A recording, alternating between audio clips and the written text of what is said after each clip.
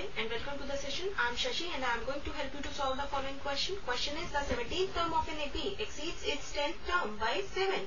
Find the common difference. Let us now start with the solution.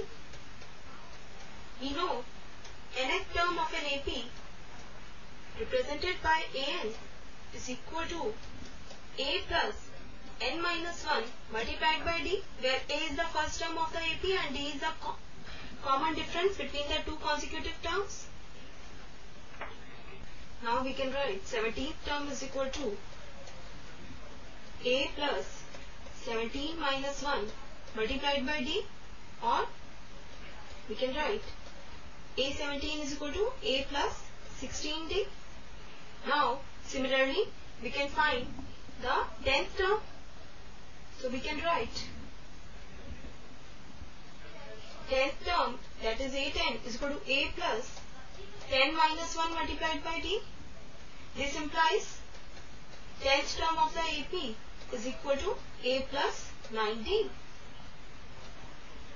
Now according to the question 17th term minus 10th term is equal to 7.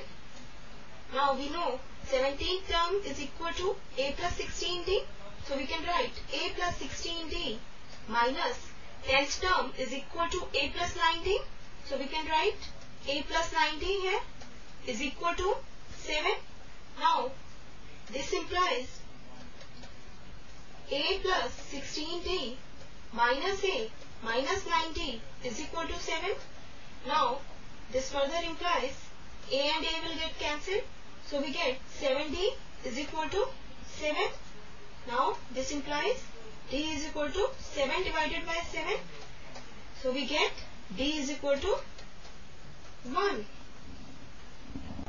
Hence common difference d is 1. So our required answer is 1. This completes the session. Hope you understood the session. Take care and goodbye.